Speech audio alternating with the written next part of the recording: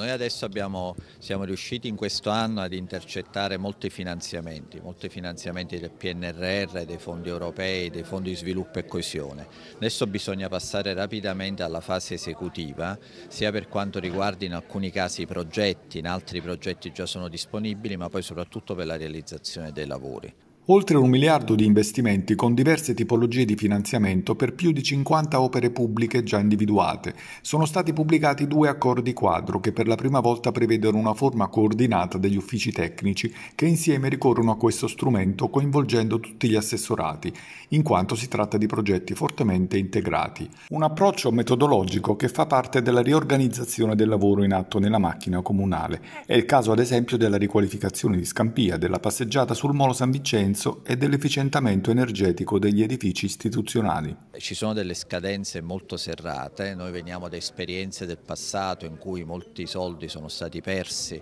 con, eh, per problemi legati a gare, a, a, errori che erano stati fatti nelle progettazioni, quindi a cose molto, diciamo, a una, una, gestione non ottimale dei tempi rispetto a quelle che erano le scadenze dei finanziamenti. L'accordo quadro consente di disporre di un contenitore di aggiudicatari, poiché nella procedura di gara viene fissata la disponibilità dei partecipanti a svolgere lavori o servizi in funzione di finanziamenti già disponibili o attivabili con tempi stretti permettendo un migliore rispetto dei tempi, oltre a consentire di operare sui finanziamenti già assegnati e su quelli futuri. Abbiamo adottato in questo caso la procedura dell'accordo quadro, che è quella che si sta adottando nelle grandi stazioni appaltanti a livello nazionale, da Invitalia ai grandi, ai grandi enti, che consente di, eh, rapidamente di poter effettuare queste gare divise in lotti rispetto alle quali si selezionano poi i soggetti economici che, che realizzeranno i lavori e che vengono